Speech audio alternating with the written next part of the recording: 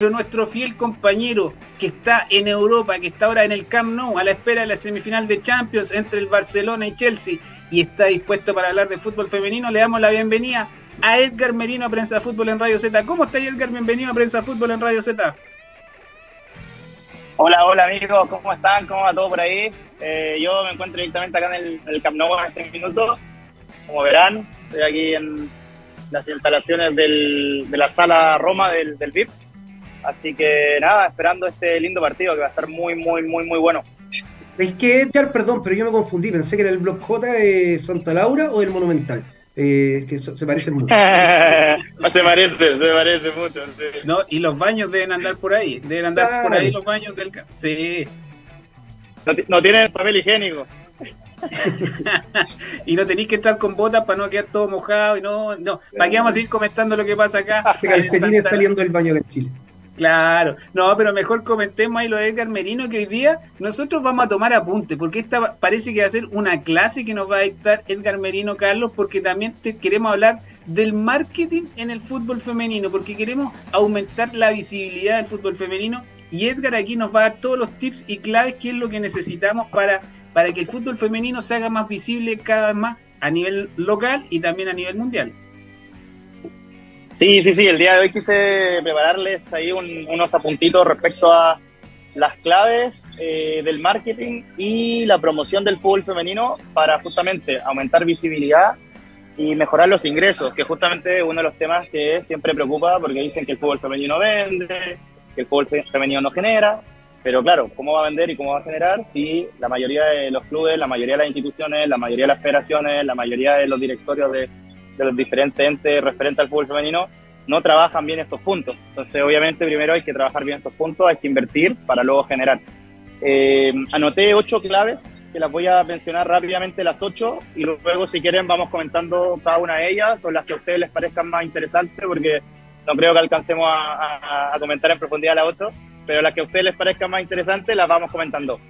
Eh, la, primera clave que, que en, mis apuntes son, bueno, estrategias de marketing, eh, sobre todo a nivel de fútbol femenino. Ya se han hecho bastantes estrategias de marketing exitosas en algunos casos, como la Copa del Mundo del 2019, como la National Women's Soccer League en Estados Unidos, que tiene una difusión y una promoción y un marketing muy bueno que se puede replicar perfectamente por otra liga, eh, como el mismo Barcelona. O sea, estamos acá en un partido del fútbol femenino con experiencia VIP, con experiencia de jugadores que la, ven, la venden a los aficionados. Eh, venía llegando en las inmediaciones del estadio y te encuentras con gigantografías de publicidad donde aparecen las jugadoras de fútbol femenino y los jugadores de fútbol masculino. Sabemos que un club top mundial está aplicando muy bien las estrategias de marketing a su, a su equipo femenino y masculino como institución. ¿Por qué no replicamos ese tipo de ideas?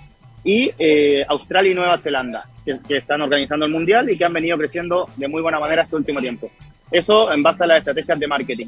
Eh, como punto número dos, redes sociales y plataformas digitales. Obviamente el uso y aprovechamiento de esto es muy útil para el fútbol femenino. Eh, como punto número tres, patrocinadores y alianzas estratégicas. Obviamente el fútbol vive del patrocinio, vive de la imagen, vive de lo que puede vender a nivel de marca. ¿Cómo poder hacerlo? ¿Cómo poder meternos en ese, en ese mundo haciendo campañas exitosas, generando vinculaciones exitosas con, con las marcas, etcétera?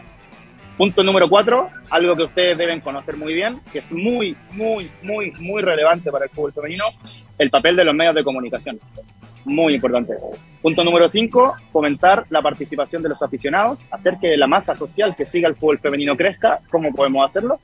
El punto número seis, marca personal de las propias jugadoras. O sea, ¿cómo, no va a crecer, ¿cómo va a crecer el fútbol femenino si las mismas jugadoras muchas veces no se preocupan de potenciar sus marcas personales, suben pocas poca imágenes, suben poco contenido?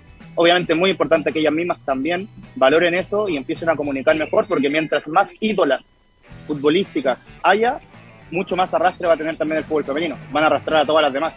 Eh, punto número 7, impacto económico del fútbol femenino, que es muy importante obviamente. Y punto número 8, el papel del fútbol femenino en la igualdad de género, porque yo siento que el fútbol femenino, al ser el deporte rey, al ser el deporte más popular del mundo, el deporte más practicado en todo el mundo, tiene un rol fundamental en lo que transmite también a nivel social. Y obviamente, si el fútbol femenino crece, también crece la sociedad a nivel, a nivel de igualdad de género, de género, porque son un reflejo. O sea, lo que vaya ocurriendo en el fútbol femenino es un reflejo de cómo va evolucionando la, la, sociedad también en esos temas.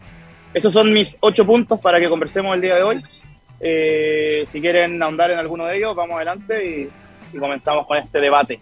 Mira, a mí me gustaría partir por el final, Edgar. Edgar, eh, respecto a lo que pasa acá en Chile, yo siento que el tema de aprovechar el fútbol para la equidad de género, acá no se le ha sacado el jugo como corresponde. Y hablo a nivel de clubes, a nivel de institución, a nivel de gubernamental, de Ministerio del Deporte. Siento que se podría potenciar de buena manera, como, como lo mencionaste tú y que diste en la clave el deporte más popular es el fútbol. Hasta hace muy, muy poco tiempo era el fútbol no es para las niñitas, solo para hombres, había mucha discriminación. Eh, la generación de esta de la roja femenina, esta generación dorada, la roja femenina que hemos hablado muchas veces también, rompió este paradigma, ayudó a cambiar mucho esta, esta situación, pero siento que el fútbol femenino debería potenciarse en, esta, en esta equidad de género y sacarle más el jugo. Creo que acá en Chile no se ha aprovechado.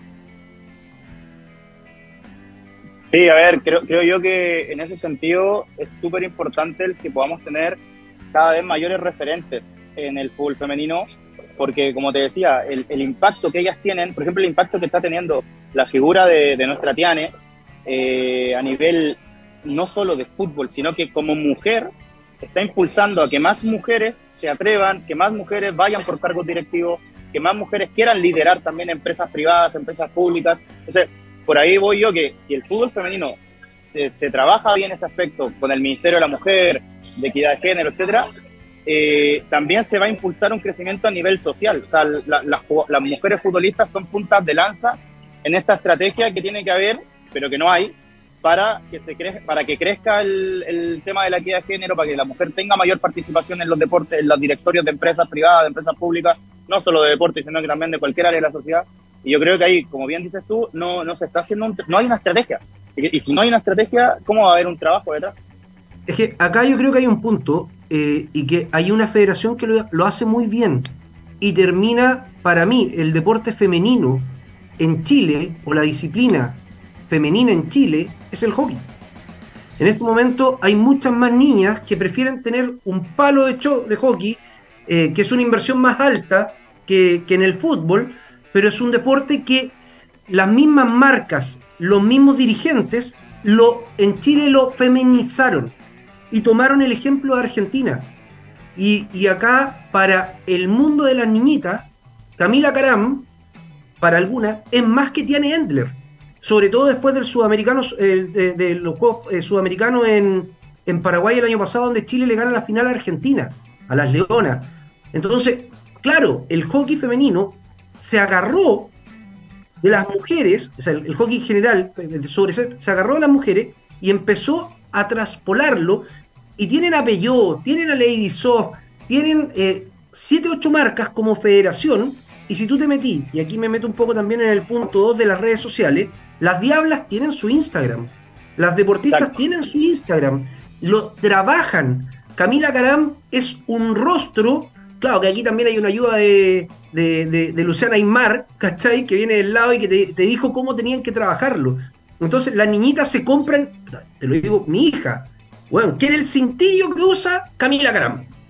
¿Cachai? Entonces, las zapatillas del color de Camila Caram. Acá, si una niñita, y lamentablemente, y eso es la guía de género, que todavía como sociedad nos pasa, si la niñita quiere ponerse la polera de Tiane Endler, en, ciertos colegios y en ciertos sectores como que la miran para el lado y el comentario es, ¿no habrá salido para el otro lado esta niñita?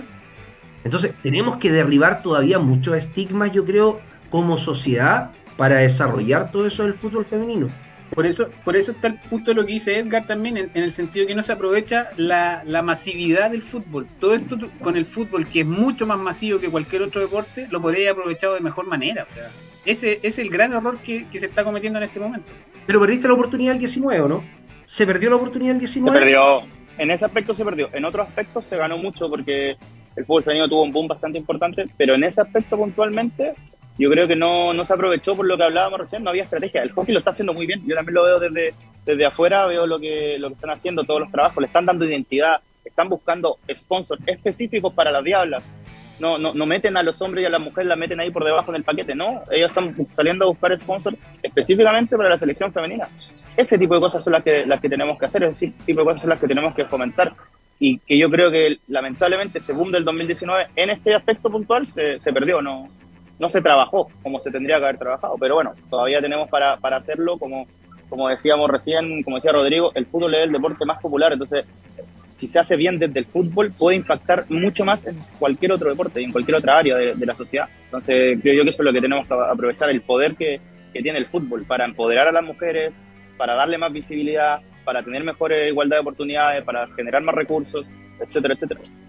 Y yo creo que Edgar dio en el clavo hace un rato cuando dijo, el fútbol que sea el trampolín. No pensemos que sean, van a ser solo futbolistas las niñas que estén, eh, eh, que sigan esta, esta, esta disciplina, que les guste el fútbol, lo que estamos conversando, sino que va a ser el trampolín para cualquier área, para directorios de empresa, como mencionaba Edgar, para cualquier ámbito, para cualquier ámbito. Eso es lo que hay que aprovechar del fútbol. Y yo por eso quería también volver al punto 2, o el tema de las redes sociales, Edgar. Em, acá en Chile lo vemos como actividades individuales de cada futbolista, el potenciar su imagen, el trabajar de buena manera. Por ejemplo, el mismo ejemplo tiene Endler. Acá estás detrás tú, hay un, equipo multidisciplinario que uno ve a Tiane Endler en redes sociales muy potente. Pero eso no se, no se replica para el resto. Acá lo que estamos viendo son solo arrestos individuales que podría ser algo, una estrategia a, a mayor nivel, a mayor cantidad de deportistas en nuestro país.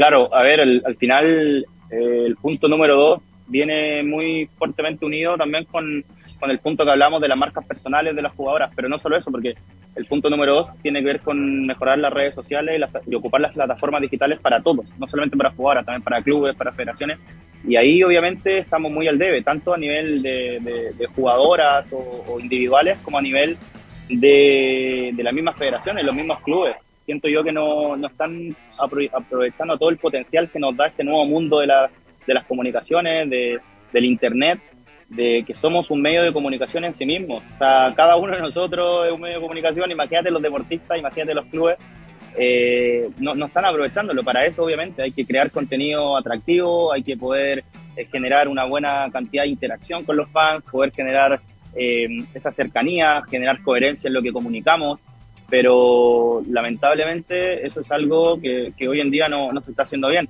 Eh, hablar de algunas estrategias y tácticas para poder mejorar eso, bueno, primero crear contenido multimedia atractivo, eh, imágenes, videos, animaciones cortas que puedan hacer que, los clubes se vean más atractivos, que se, vean, se vea mejor el contenido por la gente, que sea más entretenido.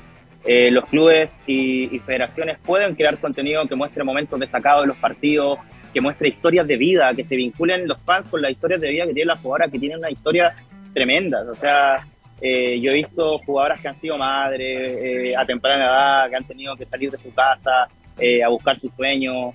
En el, en el, masculino también pasa, pero en el femenino han salido a buscar el sueño sin tener una seguridad de que van a tener un gran salario, de que van a tener un gran apoyo, netamente por un tema pasional.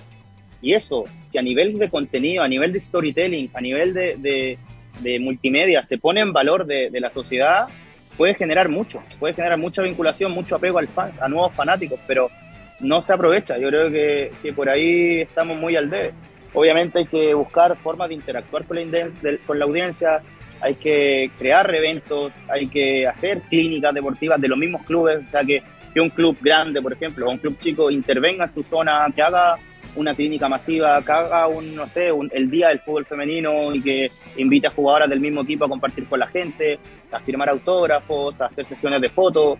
Hay muchas cosas que, se pueden hacer y que no se, no se están aprovechando. Eh, colaboraciones con influencers, o sea, todos los clubes, independientes del lugar de donde sean, tienen eh, gente con la cual se, se ven más reflejados. O sea, todos, por ejemplo, hinchas de la U de Chile. Hay muchos famosos, famosos hinchas de la U. Hay muchos famosos hinchas de Colo Colo. Hay mucha gente. Hablemos de Copiapó, por ejemplo. Eh, hay famosos que han nacido en Copiapó. ¿Por qué no ocupar uno de ellos que sea nuestro abanderado del fútbol femenino de nuestro club? O sea, no, no, no, no hay que tampoco eh, descubrir la rueda o inventar algo muy, muy profundo, pero en todos los clubes estoy seguro que tienen alguien que se vincula con la institución de una u otra forma, o porque nació ahí, o porque son hinchas, o porque su padre era, fue jugador, o lo que sea. Vinculémoslo, vinculémoslo a la institución, hagamos que nuestra institución llegue a otros públicos, que no solamente llegue al público del fútbol femenino. Eh, abramos el espectro, que llegue al público de la música, que llegue a un chef exitoso, eh, que llegue a un eh, periodista, a un, a un cantante, sea, abramos un poco más el fútbol y vinculemos a otros públicos para que así nosotros también lleguemos a más público. Eh, obviamente, transmisión en vivo de, contenidos, eh, de contenidos diferentes. Se pueden hacer muchas cosas con transmisiones en vivo, con streaming, ocupar esas redes sociales que hoy en día nos permiten hacer eso de forma gratuita, con ningún costo al club, para generar contenido, entrevista, para que las mismas jugadoras se entrevisten, que una entreviste, la arquera entrevista a la delantera, oye, ¿por qué fuiste delantera? ¿Por qué fuiste arquera? No sé. Se puede hacer muchas cosas de ese estilo y las redes sociales están para eso y no se están aprovechando. Y obviamente, el último punto importante en esto creo que es el tema de análisis de datos, o sea, aprovechar la data, aprovechar. Hoy en día las redes sociales nos dan mucho dato de nuestro club, de, nuestro, de nuestra institución, de nuestra federación. Aprovechemos eso también para generar contenido. O sea, si, por ejemplo, en las redes sociales de una jugadora vemos que el 80% del público son mujeres, bueno, hagamos contenido más específicos para el, para el, para el público femenino es otro 20% de, público masculino. Si queremos que crezca, también tenemos que hacer contenido más enfocado hacia ellos, pero eso se va a ver aprovechando la data, mirando, midiendo, viendo qué es lo que hay detrás, qué números se están moviendo. Y yo creo que eso no, no, no, no, se está haciendo hoy en día a nivel de general. Hay clubes que lo hacen bien, pero a nivel general de la industria, en Chile al menos, no se está haciendo. En otros lugares del mundo hay, hay clubes que ya lo están haciendo.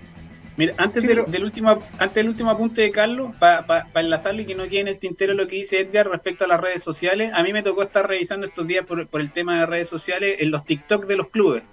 mira, son muy pocos los clubes que han creado cuentas de TikTok, que hoy es la red social que la está llevando en estos momentos, más allá del Instagram, más allá de todo, la está llevando TikTok. Y tú vas a buscar y son muy pocos los clubes que tienen cuentas oficiales, o algunos crearon una cuenta hace un año y está votada, está votada con ningún, ningún cuidado. Entonces eso te demuestra también cómo se trabaja en las redes sociales. Perdón, Carlos, que quería contar eso ahí antes de, que hablara tú.